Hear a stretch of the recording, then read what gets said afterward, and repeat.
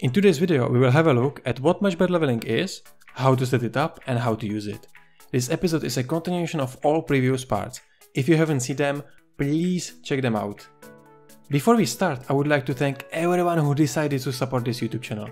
If you want to be one of them, the PayPal link can be found in the description below the video.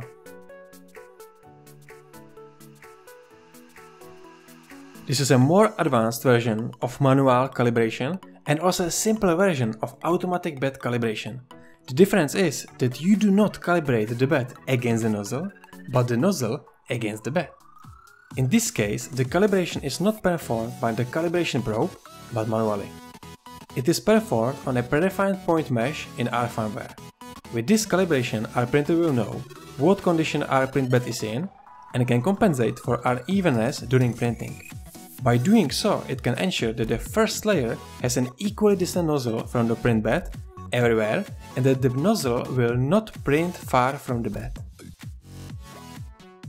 In order to start using the calibration, we need to modify the configuration of our firmware. First, we find and uncomment probe manually. This tells our firmware that we will set the distance manually instead of the calibration probe. If we want to be sure that the nozzle doesn't push the bed at each point, we can set the start position by uncommenting manual probe start Z.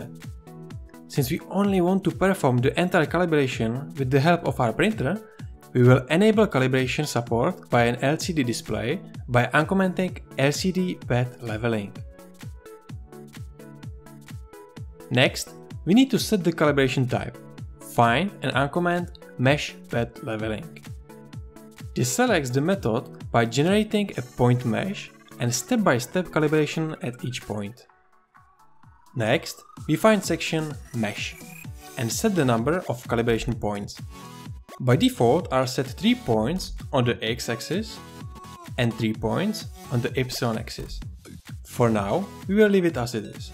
Now, you need to decide whether you want to use the calibration result every time you print or just for particular print. If every time we print, uncomment restore leveling after G28. This ensures that the calibration result is reloaded after homing. Otherwise, the calibration result would be ignored. If you want to use the calibration result only for some prints, we can add the M420 S1 to the start G code in our slicer, right after G28 alias homing. This tells the printer to load the calibration result and use it for current print. I prefer the variant in the printer's firmware. As a result, I do not have to change any of the already exported files and I can print as if I had not changed anything. The last will be a baby stepping setting. This is actually live editing of the nozzle distance from the print bed during printing. We will look for baby stepping and make sure it is uncommented.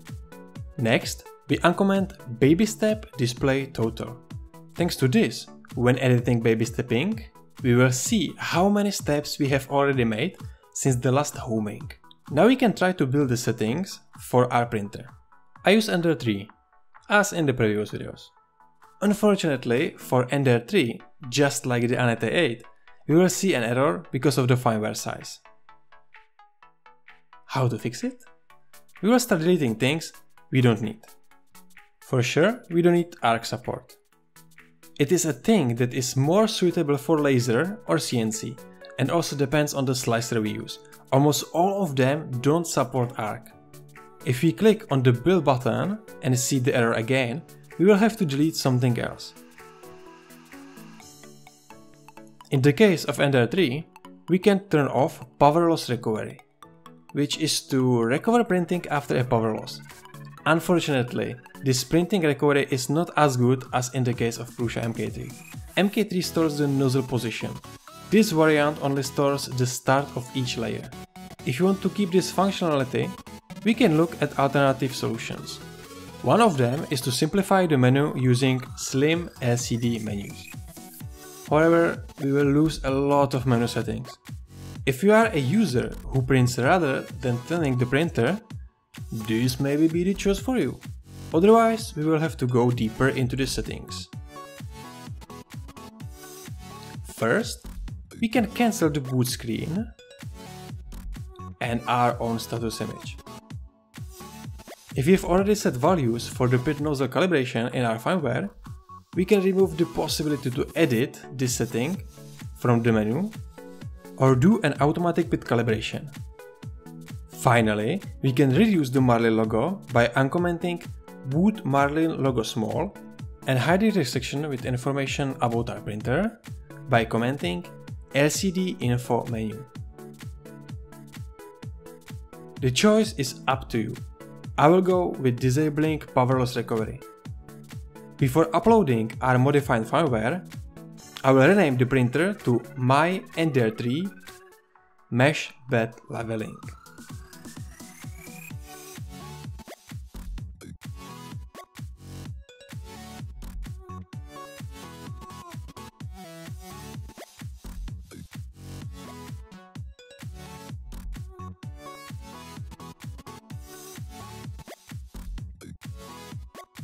Before we start, we will perform a basic calibration of the print bed according to the previous video. Leave the nozzle and the print bed warm. During the calibration, the print bed creates a point mesh according to our configuration. Each point is stored as a relative value of our home Z position. In our case, a mesh is created with 3 points on the x-axis and 3 points on the epsilon axis. In total, 9 points. To start the calibration guide, enter the menu, motion, bed leveling, level bed. The printer homes all axes and after confirming with the button, the nozzle moves to the first point. Put the paper or another calibration tool between the nozzle and the print bed and proceed as in the basic calibration with the difference that we do not rotate the calibration wheel.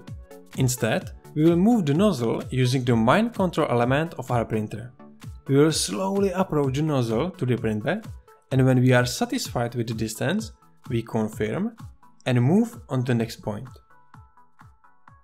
This way we go through all 9 points. When we are done, we will save the calibration result.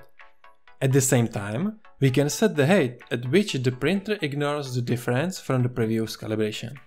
This height is different for each point as it is based on the difference value of each point. Then we can print the test model.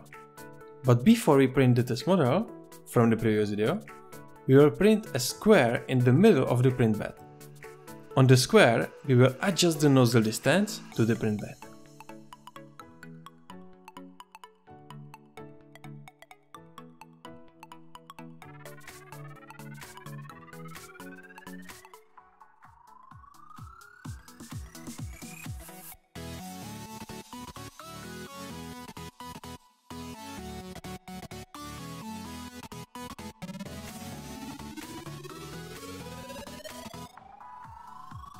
If the nozzle seems to be too high or too low, we can double click to open the baby stepping menu and fine tune the first layer.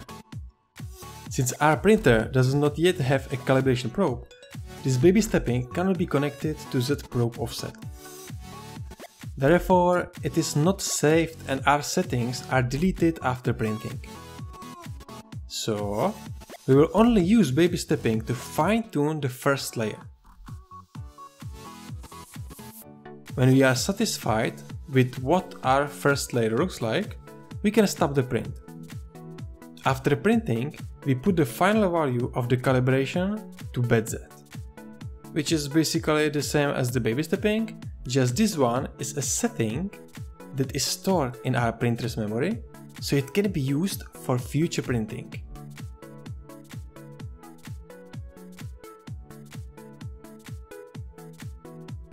Looking at this test object, we will see that the beginning of the nozzle was a bit far from the print bed.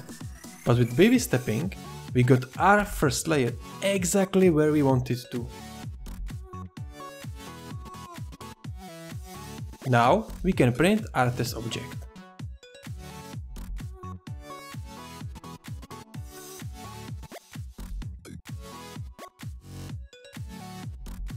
As a test object, I chose the same object as in the last video about manual print bed calibration.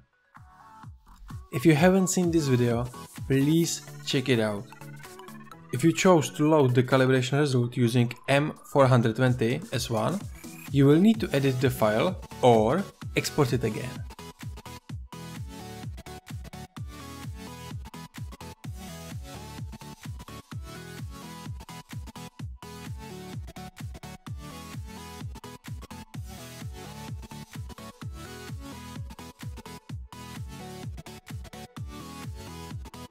As we can see on our test print, except for tiny imperfections, we have the first layer on the sides, but also in the middle of the print bed, let's say perfect.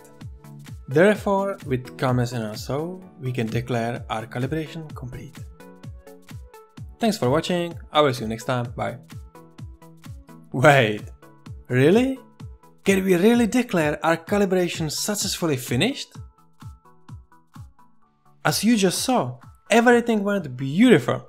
The result of our effort is that we have the perfect first layer on the uneven print bed. Actually, it's not that pink. The calibration result is valid only for the current print bed status, but it can change very easily. Like this, like this, or like that.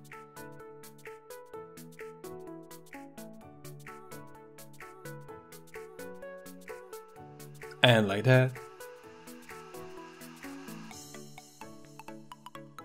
And in this way, we will do a lot of mess. And in this way, we can destroy the last 3 hours of work. Even removing the print may invalidate our calibration if our print bed is not stably fixed. Yeah, this method looks great, but the truth is completely different. What is the truth? Imagine yourself. So many tests just to get a perfect result for this video. Therefore, in the next video, we will focus on a method that will help us avoid this pile of waste while achieving a perfect first layer effortlessly. At the end, another method what can invalidate the calibration result.